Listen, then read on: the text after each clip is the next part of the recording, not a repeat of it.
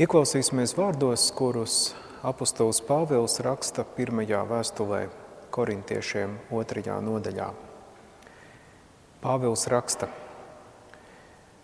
Vēstījums par krustu ir muļķīgi pat tiem, kas iet pazušanā, bet tiem, kas tiek izglābti, tas ir Dieva spēks. Jo ir rakstīts, gudrajo gudrību es izdeldēšu un saprātīgo saprātu es atmetīšu. Kur tad ir gudrais, kur rakstu skaidrotājs, kur šī laikmeta vārdu meistars, vai Dievs nav vērtis šīs pasaules gudrību muļķībā?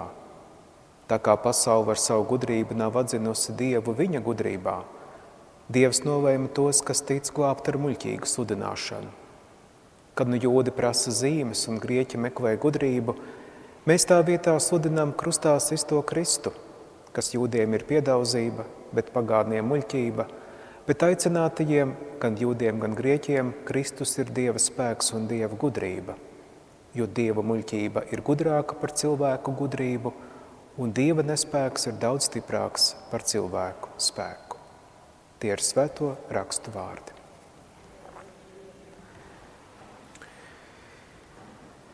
Jēzus pats nekad krustu nesludināja. Un tā ir taisnība, jo arī Pāvils sludina nevis krustu, bet krustā sisto. To sludinām arī mēs visi. Jēzus un viņa mācekļi un apstuļi nekad nesludināja krustu. Jēzus sludināja Dieva skaistumu un Dieva labvēlību, Dieva patiesību un Dieva mīlestību, ko viņš pats bija piedzīvojis tajā nedalītajā vienotības pieredzē ar Dievu, ko viņš izsaka tajos vārdos, es un tēvs, mēs esam viens. Jēzus dzīves nodošanās bija apgaismot šai mīlestībai ceļu, kas nāk pasaulē. Un viņš to īstenoja un darīja savā dzīvē, un tam nebija nepieciešama krusta nāve. Ar savu tam laikam ļoti neparasto vēstu Jēzus ieguva daudz ietekmīgus ienaidniekus reliģiskās elites vidū, kuri vēlējās viņu dabūt prom no ceļa. Jēzus šīs briesmas apzinājās un no tām arī necentās izvairīties, pielāgojoties sava laika gaidām un normām. Viņa nāve bija nenovēršama traģēdija, bet vienlaikus arī ļoti liela konsekvence. Un līdz pat šai dienai Jēzus Krusta nāve atklāti izgaismo to, cik bezsirdīgi mēs kā reliģiski cilvēki Dieva mīlestībai priekšā aizliekam savas ticības sistēmas, ideoloģijas un izdzīvošanas modeļus. To apzināties, par to domāt un sērot, un to izjust ne tikai racionāli, bet arī emocionāli un ķermeniski, palīdz viens sen baznīcas prakse – krūsta ceļš. Sākotnēji izveidots sveceļniekiem Jeruzalemē kā Via Dolorosa, sakojot, pat, sekojot patiešām geogrāfiskajam Jēzus ceļam no Poncija Pilāta pils līdz krustā sišanai un apgubāšanai, ejot cauri un apstājoties katrā no tām tādām, tādās 14 apstāšanās un pārdomu vietās, jeb stacijās, katru nozīmīgo brīdi šajā Jēzus ceļā apdomājot un tajā apstājoties. Un krusta ceļš ir kļuvis par kristīgās telpas neatņemamu sastāvdaļu un atrodams ne tikai katoļu, bet arī daudzās luterāņu baznīcās. Tas mums ir pazīstams. Viens citādāks krusta ceļa līdzinieks varētu būt Jēzus nāves aplūkošana no četrām perspektīvām. Četru staciju krusta ceļš. Varbūt esam dzirdējuši, ka integrālās filozofijas izveidotājs Kens Vilbers ir izstrādājis veidu, kā visdažādākās tēmas, kā vienu veselumu vienlaicīgi aplūkot no četriem skatu punktiem – Šos skata punktus Vilbers nosauc par kvadrantiem.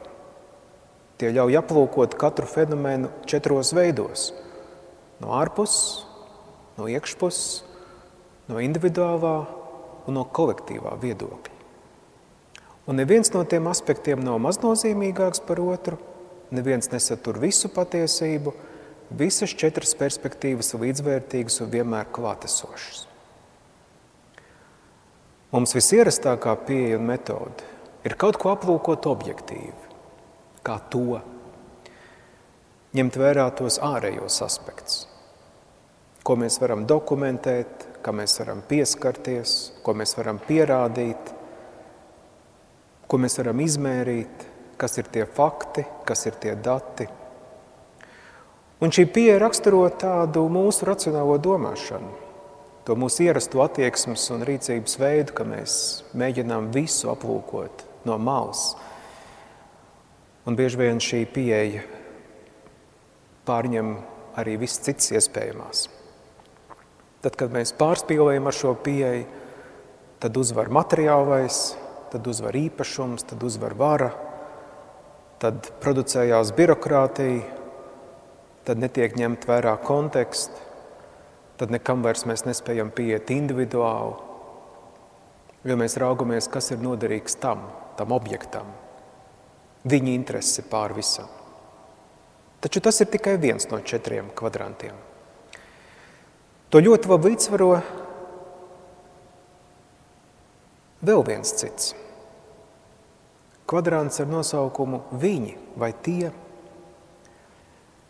Kas ir svarīgs, kas dar mums, kā kopienai, kā sabiedrībai, kāda resursa mums ir pieejami, arī te mēs darbojamies ar kaut ko, ko varam izmērīt, ko varam saskaitīt, bet tomēr mēs esam fokusēti ne vairs tikai uz to objektu, bet jautājumu pēc tā konteksta, pēc tās sistēmas.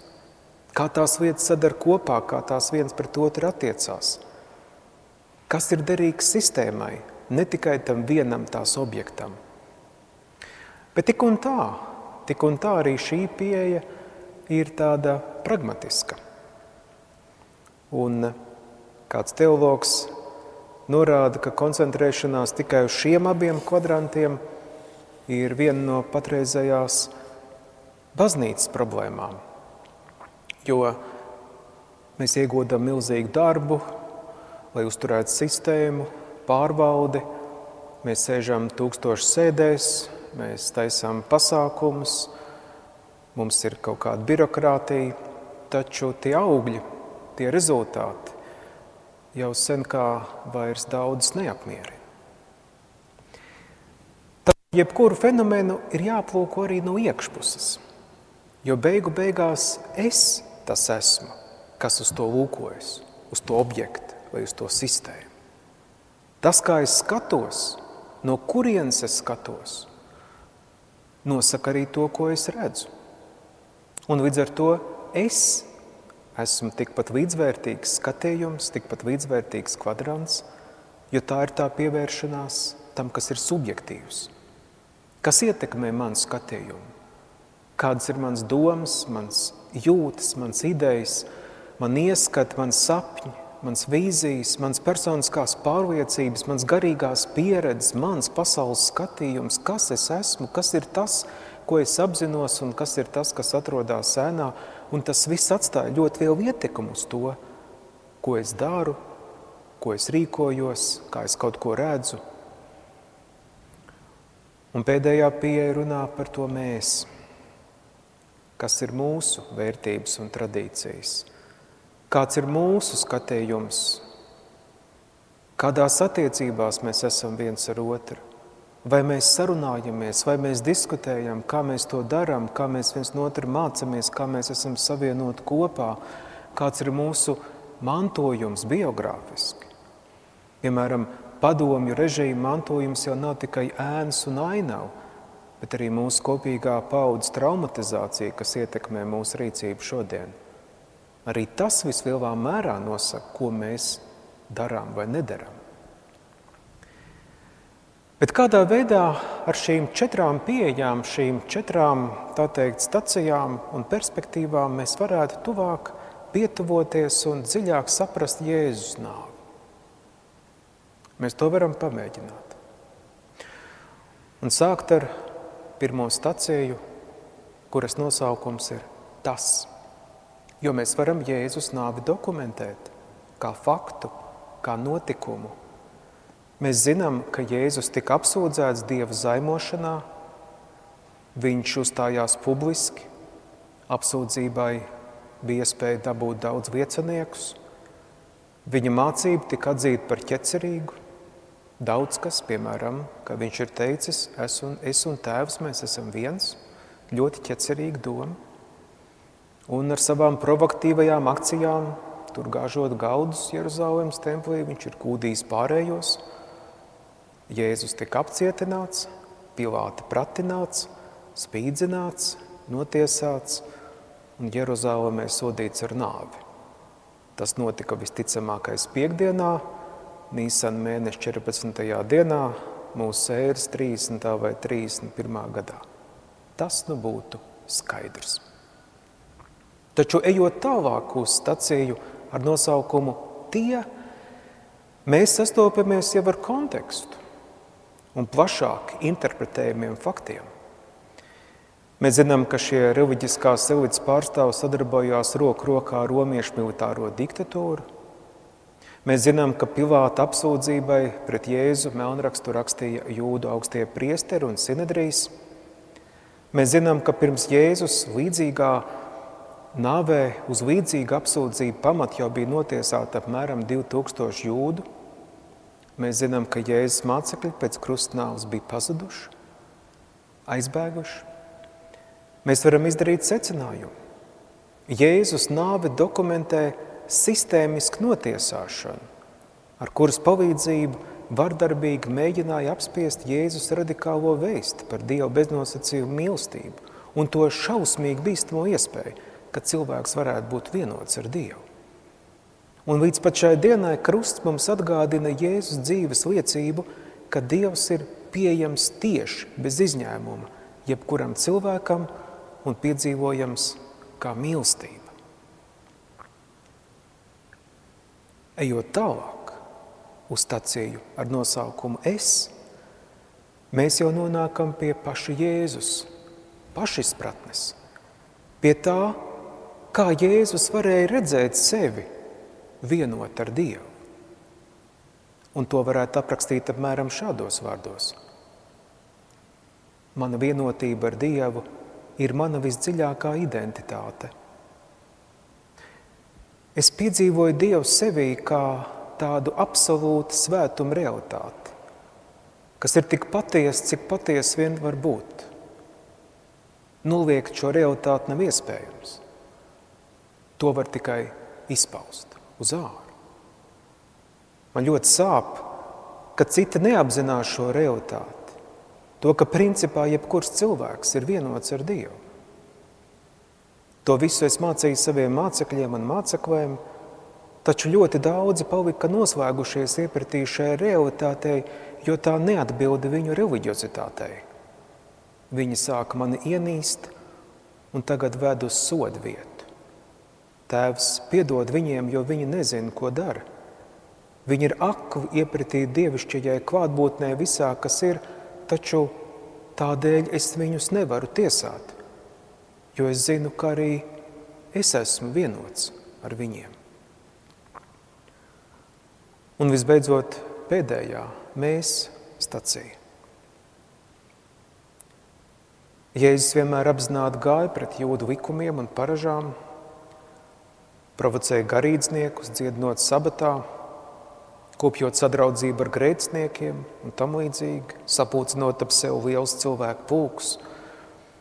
Viņa nevardarbīgā līdzjūtības praksa un dziedinošā darbošanās ar sistēmas piemeklētajiem un izstumtajiem radīja viņam daudz ienaidniekus un arī daudz draugus. Un tā laika reliģiskās un sabiedriskās instances, jo sajūtās apdraudētas un izšaubītas – kā tādi sabiedriskās kārtības un pestīšanas nodrošinātāji. Un paradoxālā kārtā reliģiskās institūcijas redzēja Jēzu cilvēku, kura reliģiozitāte no viņu viedokļa nebija pareiza. Un tāpēc pret šo šokējošo Jēzu sudināto cilvēku brīvību šīs institūcijas vērsās ar visiem tām pieejamiem līdzekļiem un arī manipulēja – ar Jeruzalemē uz svētkiem sanākušajiem cilvēkiem, lai tikai sasniegtu savus mērķus. Jo redziet, paši jūdu pasaules svētki jau arī bija iekrāsoti ar tādu cilvēka dzīvi noniecinošu un cilvēku kultūras radīto tā sauktās atpestījošās vardarbības konceptu. It kā kontrolēta vardarbība varētu atnest cilvēkiem mieru, it kā karš radītu mieru lielāku nekā pirms tam. Jo tie bija svētki, jūs jau zinat, ar asiņainiem dzīvnieku upuriem. Un patiesībā uz šī vardarbības viļņa esot pavērst to pret kādu konkrētu cilvēku jau vairs nebija pārāk sarežģīti. Jo jau likums atļauj mums būt vardarbīgiem, tad mūsos ātri atraisās zemākās dziņas un vēlme būt pēc iespējas brutāliem, kas tik skaisti izpaudās viens ļaužu grupas saucienos sit viņu krustā, sit viņu krustā. Jēzus mācekļi to redzēdam, krita panikā, bailēs piedzīvot līdzīgu likteni, pasvēpās, taču Jānim un daudzām galvējas sievietēm, to skaitā arī Jēzus matē Marijai un viņa māsai, bija pietiekami daudz drosmes un līdzcietības un mīlestības izturēt līdz galam Jēzus krusta nāvi. Un šī mazā cilvēku grupa tur krusta pakājē arī simbolizē tos pirmos mēs, to pirmo kristīgo draudzi, kuri noturās pretī bezjēdzīgām ciešanām un paliek pie ticības, neskatoties uz nāves šausmām. Un viņi ir pirmie Jēzus mācekļi, kuros var redzēt Jēzus gara caustrāvotu, dziedinošu Dieva tuvumu. Viņos to var redzēt. Vēl pirms visas nāves, vēl pirms augšām celšanās. Šīs četras stacijas, mazliet citādāk kā tās 14, mums dod iespēju tuvoties arī ne tikai Jēzus ciešanām un nāvei, bet arī ciešanām kā tādām. Kas man ir ciešanas, ko man tās personīgi nozīmē, kādas ir tās konkrētās ciešanas, kas man skar. Kas ir mūsu kopējās sāpes, kuras mēs izjūtam kopīgi, kuras mēs nodaram viens otram, kuras mēs kopīgi nesam? Kā mēs tās saprotam, ko tās mums nozīmē, kā mēs tās pārdzīvojam, kā pārvaram? Un kas ir tie sistēmiskie apstākļi un struktūras, kas rada ciešanas vai ir sastingušas ciešanās? ko konkrēti ir iespējams darīt pret šo ciešanu iemesliem un sekām. Citiem vārdiem, katrā no šīm četrām stacijām mēs dziļāk ieejam Jēzū. Mēs ieejam Jēzū no četrām pusēm un uz ciešanām sākam raudzīties viņa acīm. Katra no šīm stacijām dziļāk un dziļāk māca mums sastapties ar ciešanām redzēt, kurā no stacijām tad ir izbārstīts mūsu aklums, paviršības, samazglojumi, mokas, izmisums, cik ļoti tas viss arī cer uz dziedināšanu. Šīs četras stacijas atklāja, kas mūsos nav vienots, kas ir sašķelts, kas ir saplosīts, kas ir atšķirts no citiem un sists krustā. To rāda visu dzīvo būtņu un visu dzīvo sistēmu ciešanas un sāpes. Un tas ir viens no gavēņa, jeb ciešanu laika uzdevumiem. Atvērties šai ciešanu klātbūtnei. Raudzīties, no kurienes tad tā upe nes tos miroņus līdz mūsu krastiem.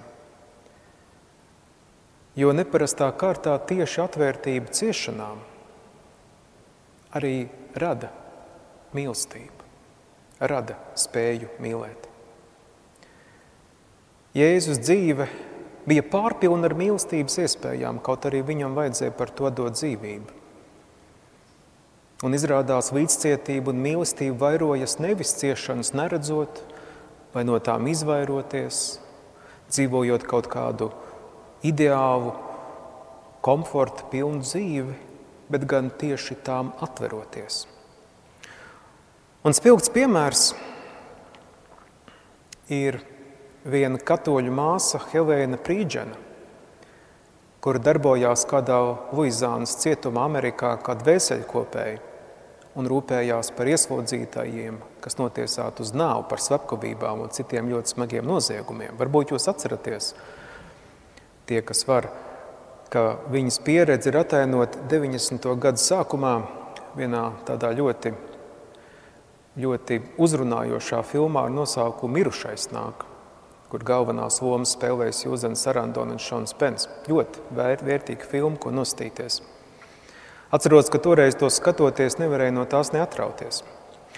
Un kad šai māsai Helēnai jautāja, kā viņai izdodas šajās bestijās un ļaundaros saskatīt cilvēkus, viņa teica, jo mazāk tas liekas iespējams, jo vairāk tas jāmeklē jo mazāk kaut kas liekas iespējams, jo vairāk tur mums tas ir jāmeklē. Un izlasot šos vārdus, es sapratu, kas ir tā krusta ģeķība, par ko Pāvils runāja. Kas ir tā muļķība?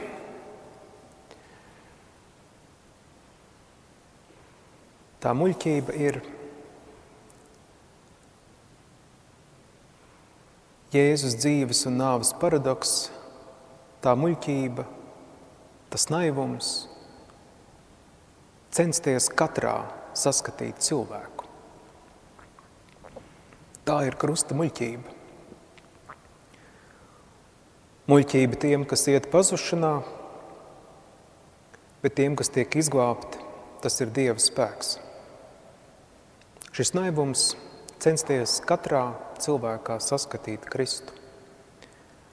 Šī muļķība prasa no mums pilnībā uzticēties neiespējamai mīlestībai pret katru cilvēku. Šī muļķība aicina saskatīt katrā cilvēkā skaisto, labo, patieso, katrā to, kas ir cienījams, godājams un dievišķs. Un tā bija Jēzus dzīves gudrība, Jēzus dzīves jēga – un viņa bezjēdzīgā nāve pie krusta nevarēja apturēt viņa dzīves jēgu, meklēt, mīlēt, vērto katrā cilvēkā. Un jo neiespējamāk tas šķiet, ka cilvēks un cilvēks var uzlabot šo pasauli un to pārvērst, apturēt sāpes un ciešanas, jo vairāk ir jātiecās katram tad būt par to cilvēku, kas bija Jēzus. Un ja ir kaut nedaudz šī tiekšanās, tad pasaulē rodas vietas un pieredzes, kurā mēs kaut uz zips nevaram piedzīvot, ka cilvēks ir Kristū, ka cilvēks un Dievs ir kaut kas viens. Un es domāju, ka tieši tāpēc, kad nekad arī tā nav izdzisusi šī Jēzus cerība, ka šī Jēzus cerība un dzīves jēga nekad nav tikusi aprakta ka šī jēga šai cerībai nekad nav atmests ar roku.